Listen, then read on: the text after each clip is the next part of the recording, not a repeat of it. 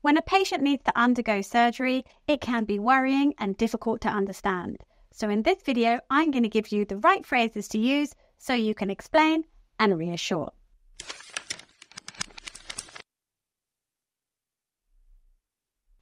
Hello, I'm Jo from Specialist Language Courses. We are the world's leading medical English provider.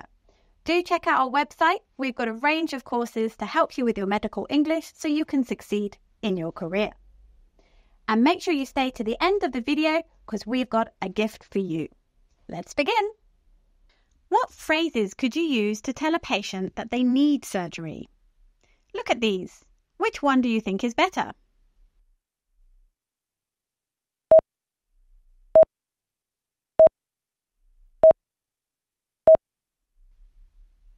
And this is the most appropriate phrase. Let's take a look at some more phrases you can use to tell a patient they need surgery. We need to do a procedure called a gastroscopy. I'm afraid we're going to have to do an appendectomy. Unfortunately, the only option left to us is a colostomy. I'm afraid you need to undergo an angioplasty and you might need to explain what it involves by using phrases such as these.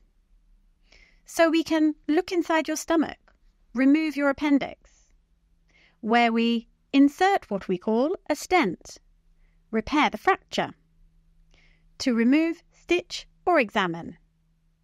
So if we need to explain an appendectomy, for example, we could say, I'm afraid we're going to have to do an appendectomy so we can remove your appendix. Let's take a closer look at what you might say during an explanation of an appendectomy. Look at this scenario. You are talking to the father of a seven year old daughter who has a perforated appendix. Read the role card and think of some phrases you might use.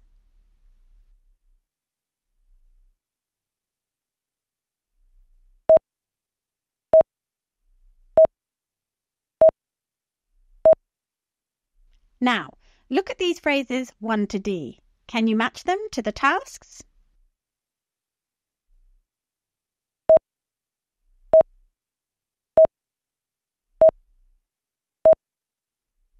And here are the answers. I'm afraid your daughter has a perforated appendix and we need to do an emergency operation. We're going to do something called an appendectomy, where we remove the appendix. Are you happy for us to proceed? Unfortunately, this is the only option left to us. Without surgery, your daughter will likely develop serious life threatening complications. I understand you are worried, but let me reassure you that your daughter will be given a general anesthetic so she will not feel any pain during the procedure. Want to know more about explaining surgery and how to pronounce the medical terms? Why not check out our courses? Imagine your patient has to undergo a gastroscopy. Let me know how you'd explain it in the comments below. And congratulations on getting to the end of the video. We've got a free handout for you. Simply write surgery below and we'll send you a link. And if you want to continue learning more about this topic, why not check out this video on surgical procedures. See you next time. Bye bye. Let's take a closer look at what you might say during an explanation of an appendectomy. Of an appendectomy. Of an. Let's take a closer look of what you might say during an.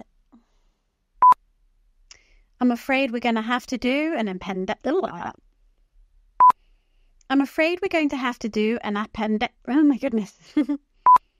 I'm afraid we're going to have to do an appendect an appendectomy. An appendectomy course I chose appendectomy.